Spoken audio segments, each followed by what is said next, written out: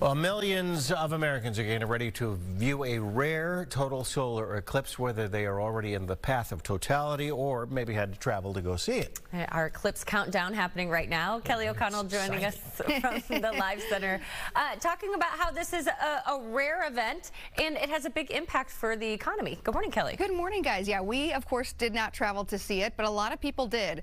The narrow path of totality, about 115 miles wide. That is where the moon will cover the sun completely completely. Now, unfortunately, as we've been saying, we have a partial eclipse here in Minnesota, and we might not see much of even that because of the cloud coverage, but we do know a lot of Americans are traveling to spots hoping to see this rare sight. A live look at Dayton, Ohio this morning where the total eclipse should be visible about 310 this afternoon. And with that, we know people are traveling to cities like this one. Tourism industry is seeing a big boost, expecting a lot of people.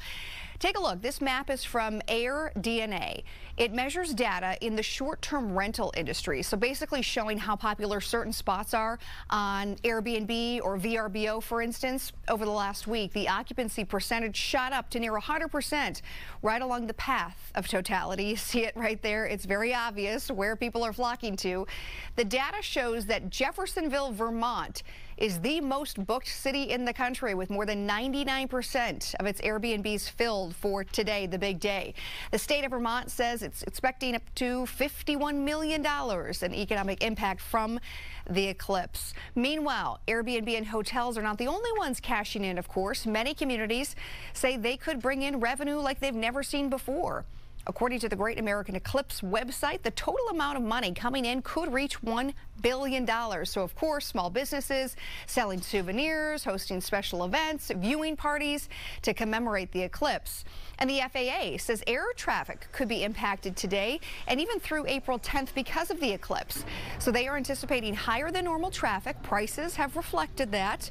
And due to the amount of traffic, some planes might need to be rerouted or even delayed.